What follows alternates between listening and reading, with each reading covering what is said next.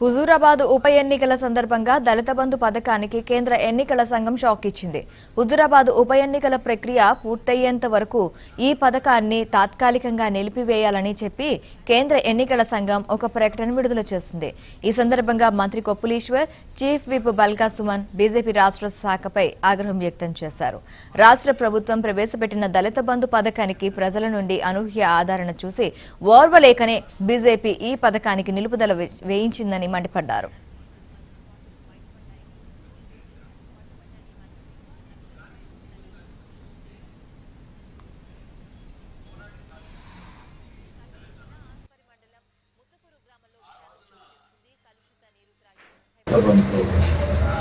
దేశంలో ఇప్పటి వరకు ఎన్ని ప్రభుత్వాలున్నా కేంద్రంలో కానీ రాష్ట్రంలో కానీ దళితులు అనేటువంటి వాళ్ళు అణగారిన వర్గాలు అంటరాని వర్గాలు అస్పృశ్యులు ఆర్థికంగా చిక్కిపోయినటువంటి వాళ్ళు వీళ్ళ కోసం ఒక ప్రత్యేకమైన కార్యక్రమాన్ని తీసుకువచ్చి ఒక జాతినే బాగు చేద్దామని ఆలోచించినటువంటి ప్రోగ్రాం ఇప్పటి వరకు రాలేదు.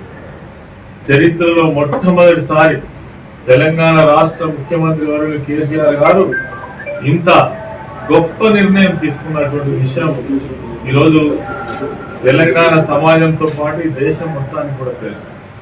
అయితే దీంట్లో కుట్ర కొట్టచ్చినట్టుగా కనబడతాం. ఎందుకంటే ఇది కేవలం హుజరాబాద్ ఎన్నికలను దృష్టిలో పెట్టుకొని తీసుకొచ్చినటువంటి ప్రోగ్రాం కాదు.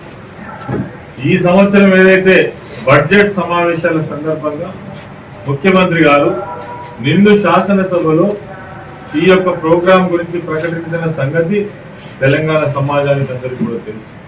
అదే విధంగా ఇది ఏదో ఆషామాషిగా తీసుకొచ్చినటువంటి ప్రోగ్రాం కూడా కాదు.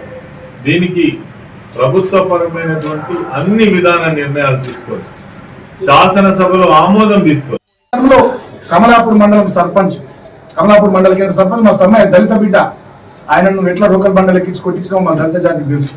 కమలాపూర్లో ఎట్లా మా దళితులు ఇల్లు ఉలగొట్టావో మా దళిత బిడ్డలకు తెలుసు. మా దళితులు నేంటి కానాడు కమలాపూర్లో వస్తే నా దర్వాజా విలువ కాదు మీరు మీరా నాతో మాట్లాడేదని చెప్పి ఆనాడు దళితులను ఎంత అహంకారంతో నువ్వు దూషించినవో ఇవాళ మా దళిత బిడ్డలకి నియోజకవర్గం తెలుసు.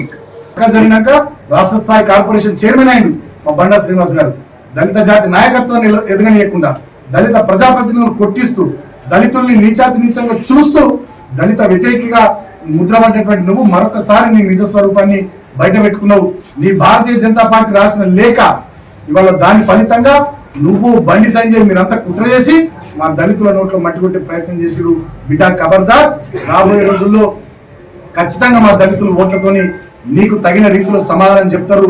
వాళ్ళ యావత్ తెల- తెలంగాణ దళిత మేధావులు దళిత బిడ్డలు రీసెర్చ్ స్కాలర్స్ దళిత పాత్రికేయులు అదేవిధంగా దళిత లాయర్లు దళిత డాక్టర్లు దళిత యువత అందరూ స్పందించాలి.